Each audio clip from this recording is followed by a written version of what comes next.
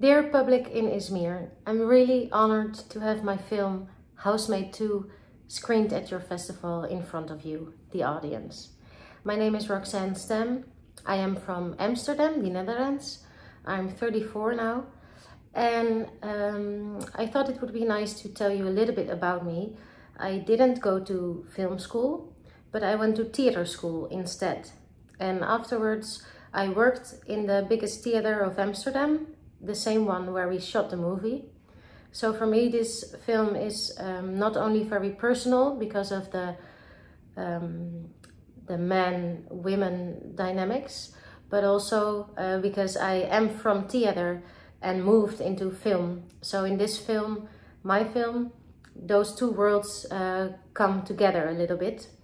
Um, what's also nice uh, to know is that I shot during the pandemic so we had a lot of challenges because of that. And also a lot of luck because the theater is really expensive to hire uh, to shoot your film there. But because the theaters couldn't be open, um, I was lucky to, um, to film there with a discount on two days. We shot the whole movie in two days. What's also interesting is that actually the main actor, uh, he works at the biggest theater company in Amsterdam. So actually, normally he's also always the lead actor um, of this big theater company. And um, the location for him is very um, homey. It feels like home to him because uh, he actually plays in that particular theater a lot on that same very uh, very same stage.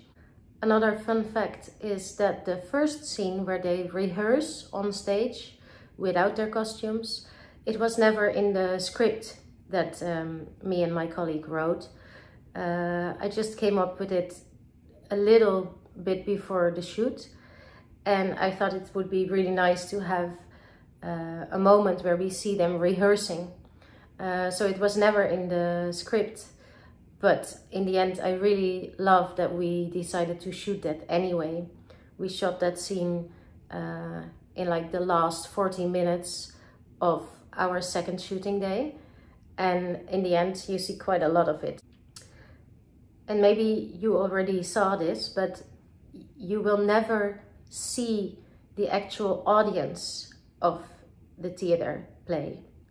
Um, this was also due to the pandemic. First I thought, but I need a full, uh, a full room of people applauding.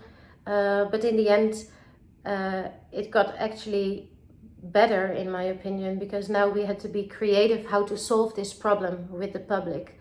And now you will only hear them sometimes, but I hope you didn't miss them. Thank you so much for watching my film and I wish you a very, very pleasant rest of the festival. Bye-bye.